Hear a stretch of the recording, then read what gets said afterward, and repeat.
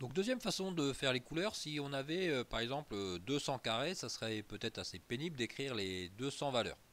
Donc pour éviter d'avoir à écrire toutes les couleurs, on peut essayer d'utiliser le, les codes couleurs RVB. Alors comment ça fonctionne? Regardez donc ici. Donc là, les, couleurs sont définies par, des nombres. Donc quand mon curseur va être ici, là je suis sur ce rouge là, donc 250, 0, Et quand j'avance mon curseur, je suis toujours dans les rouges, donc ici ça bouge pas.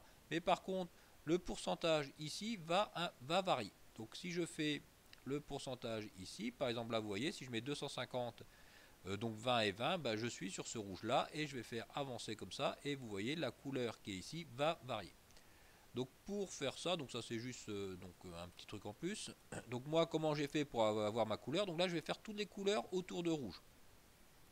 Donc ici on va mettre des nombres, ça donc ça va être défini uniquement par des nombres entre 0 et 1. Donc quand color, quand ma première coordonnée va être 1, c'est-à-dire que je vais être sur du rouge. Après, je vais faire varier avec euh, en fonction de i. Donc comme i, je vous rappelle, il varie de 0 à 9. Donc quand i va être égal à 0, donc là je vais avoir 0 sur 10, 0 sur 10. Donc ça va être la couleur 1, 0, 0. La couleur 1, 0, 0, ben c'est ce rouge là. Après, je vais avancer, i va être égal à 1. Donc quand i va être égal à 1, je vais avoir la couleur 1, 0, 1, 0, 1.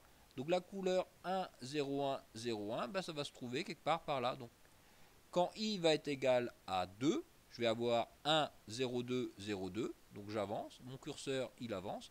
Et ma dernière, ma dernière couleur, ça va être 1, 0, 9, 0, 9. Donc je vais donc me retrouver quelque part par là. Alors si je fais, si j'exécute ce script, normalement, je vais avoir des, des carrés qui vont prendre des valeurs de rouge foncé en étant de plus en plus clair. Donc on essaie d'exécuter le script. Est-ce que ça fonctionne? Oui, ça a l'air de fonctionner. Donc là je suis sur du rouge, rouge, rouge. Donc là pour l'instant on voit pas trop. Mais euh, là à partir de là, hop, là ça vient, sur du orange, du orange plus pâle, du orange plus pâle et du, voire du rose. Voilà pour les couleurs.